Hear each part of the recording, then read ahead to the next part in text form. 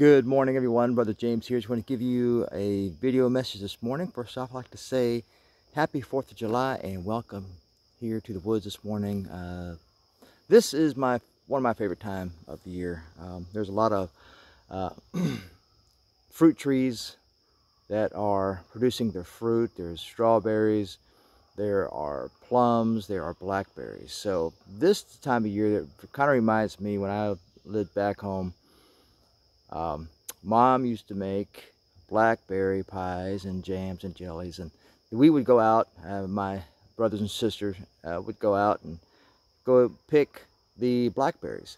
And one thing I noticed about picking the blackberry is sometimes blackberries are easy to get to. Usually they're far and few between if you pull over the side of the road and or find a, a little patch or a thick patch of blackberries, a lot of times there, you know, there's a path just up front just to pick easy ones. But the big juicy blackberries are usually tucked away in back, protected by a bunch of briars and thorns and whatnot. So in order to get the sweet fruit, in order to obtain the sweet fruit, there has to be some work you have to put blue jeans on make sure you're taped off so you don't get the chiggers on your legs. Uh, make sure you wear a long sleeve shirt so you won't get scratched up from the from the thorns. But when you finally reached your destination when you pressed in further in, into the blackberry bush which takes effort you will come out with a wonderful piece of fruit you'll come out with that big blackberry.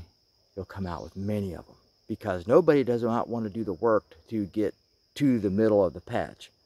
Same thing with God's Word is that if we want to extract the fruit of God's Word, we have to dig, we have to labor, we have to take our time to rightly divide the Word of God and take our time to extract the, the, the sweetness of God out of His Word because His Word does the work. His Word does the work in us, and the Holy Spirit in, inside of us will act upon that Word to bring about His will. So I want to read to you a few passages about His Word. This may appear to be a topical message, um, but I'm going to try and not to inject my thoughts into the Scripture, let the Scripture speak for itself. But I like this time of year because it just reminds me of the goodness, the goodness and the blessings of God. So first scripture I'd like to go to is Psalm 119. I'm going to bounce around just a little bit. Um, so if you can stay with me, that would be great. Um, so you can see where, where I'm coming from. So first scripture is Psalm 119 verse 2. It says, Blessed are they that keep his testimonies and that seek him with a whole heart. Just like that blackberry, when you see this patch of blackberries or that fruit in the middle of the patch, we, we're, we, we're wanting to seek it. We're going to use everything we have. We're going to use all our tools to get to that fruit. We're going to take the time to dress properly. We're going to seek that fruit with our whole heart, with our whole being. And that's what he wants us to do with his word. We, we want to seek him study, not just view the Bible as, as poetry or as just a good book. He wants us to study, rightly dividing the Word of God. So that was the first verse. So let's go move on over to um, same Psalm 119, 105. Um, says this, The Word is a lamp unto my feet and a light unto my path. Then we can move over to 2 Timothy 2.15. Let's go there.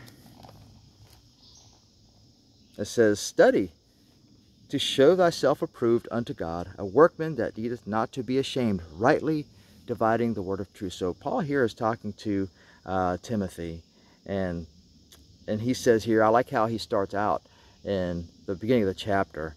And says, Thou therefore, my son, be strong in the grace that is in Christ Jesus. Once we start studying God's word, grace will illuminate from the page. Grace will be the major theme of the Bible. God is merciful. He is love. He is grace. And also, you know, Jesus, he is a warrior as well.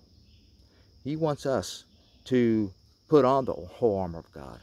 He wants us to stand firm, stand fast in his word as, well. Um, so as when you read the word, it'll produce a fruit in you of gratitude.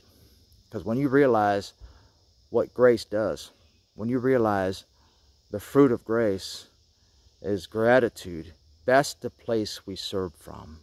That's the place where we want to preach from the rooftops of the true gospel of Jesus Christ, the death, the burial, and the resurrection, and what, what that means, and what Jesus did on that cross. He paid our sin debt.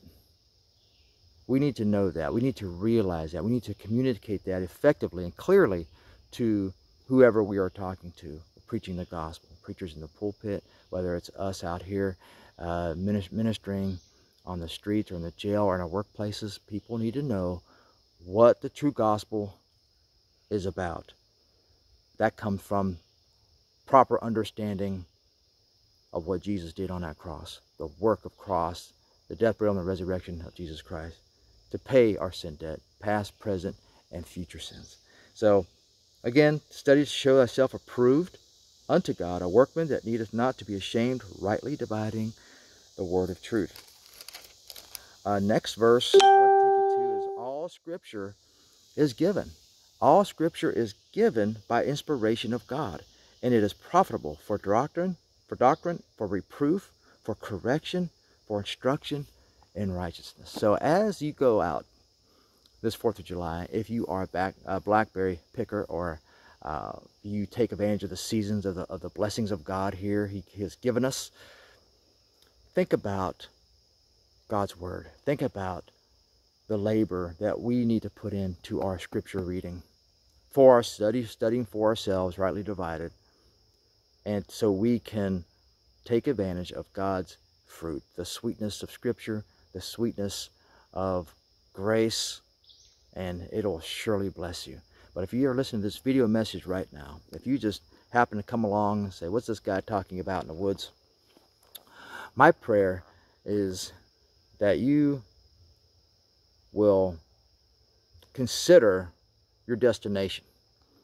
Wouldn't that be nice to know where you're going? Wouldn't that be nice to know that you know that you know that you are going to heaven and you could know today that you're going. That's what the, that's what the the word of god teaches that you may you can know that you're going that you're a child of god. It is by placing your trust believing in the death burial and resurrection of jesus christ for all of your sins past present and future. There was a sin. There was sin placed on you from from beginning of time through adam. He brought sin to the world and it was passed down to every human being. But the goal of Satan is to keep you away from the gospel. That's his mission.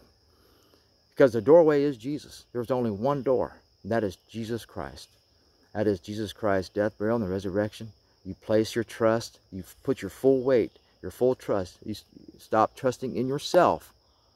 Go from unbelief to belief.